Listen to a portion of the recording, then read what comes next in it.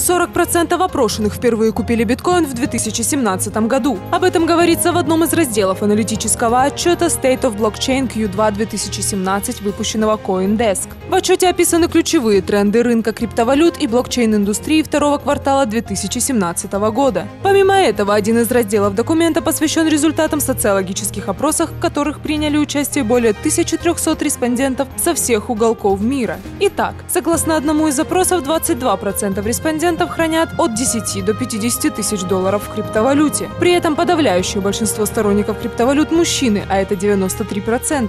Среди них активнее всего криптовалютами интересуются молодые люди в возрасте от 26 до 35 лет – 39%.